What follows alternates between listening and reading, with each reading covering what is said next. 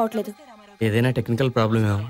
Phone చేసి చూస్తానుండండి hello ఎవరు?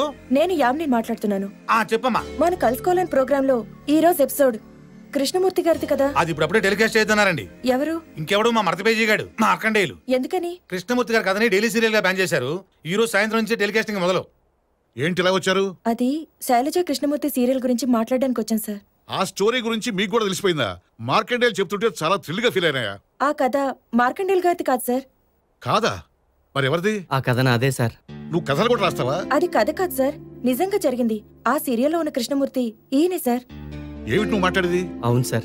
మీరు చేస్తున్న సీరియల్ కథ కాదు. నిజంగా జరిగింది. ఆ శైలజ ఎవరో కాదండి. నేను ప్రేమించిన అమ్మాయి. నిజమా? అవును సార్. హలో. ఏమయ్యా నమస్కారం సార్. వస్తాను నా చామర్రా? వచ్చేప్పుడు ఆ రఘురామ్ కూడా తీసురా ఆ? మీరు కాసేపు అలా కూర్చోండి. చెప్తాను.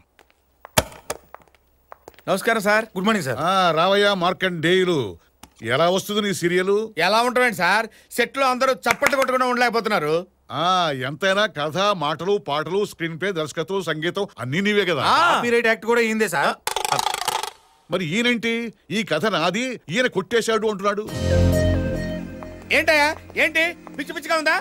నిన్న కాక మొన్న వచ్చావు అప్పుడే రాజకీయాలు మొదలు పెట్టావా ఇట్లయితే పైకి వస్తావు? నేనేంటో నా సిన్సియారిటీ ఏంటో నా గొప్పతనం ఏంటో సార్కి బాగా తెలుసు. ఎరా! మీరేంటి చెప్పండి సార్? చెప్పడం కాదు చెప్పు తీసి కొట్టాలి. ఇంత మాత్రం దానికే చెప్పు తీసుకొని కొట్టడం ఎందుకులేండి సార్? ఏదో చిన్న కుర్రాడు బోల్డ్ అంత భవిష్యత్తు ఉంది. ఈ సారికి క్షమించేసి వదిలేసేయండి సార్. ఎండి గారు కొడతానంది ఆ కుర్రని కాదు. ఎవరిని? తమర్ని! మనిషి అన్నా కాస్తైనా సిగ్గు లజ్జ మానం అభిమానం ఉండాలయా అవును. మన ఛానల్ పరుగు తీయడానికి కాకపోతే ఏమిటి ఆ పనులు? అవును. నువ్వు ఆ రోజు కాన్సెప్ట్ చెప్పినప్పుడే నాకు డౌట్ వచ్చింది. ఏమని? నీ పీత ప్రేమికి ఇంత మంచి ప్రేమ కథ ఎలా తట్టిందా అని. ఏమయ్యా? నువ్వు కూడా వీళ్ళ సన్యాసేనా లేదు సార్? అలా చేయడం తప్పని ఎంత చెప్పినా వినిపించుకోలేదు సార్. నువ్వు ఇంత నీచుడుగా నాకు ఇప్పటిదా తెలీదు. నువ్వు చేసిన పనికి నేను ఇప్పుడే ఉద్యోగం నుంచి పీకి పారేయాలి. సార్ మీకు దండం పెడతాను. అంత పని చేయకండి సార్. వైఫ్ అండ్ చిల్డ్రన్ ఉండండి సార్. ఏదో పనులు చేసినప్పుడు పెళ్ళాం పిల్లలు గుర్తు రాలేదా? ఆ?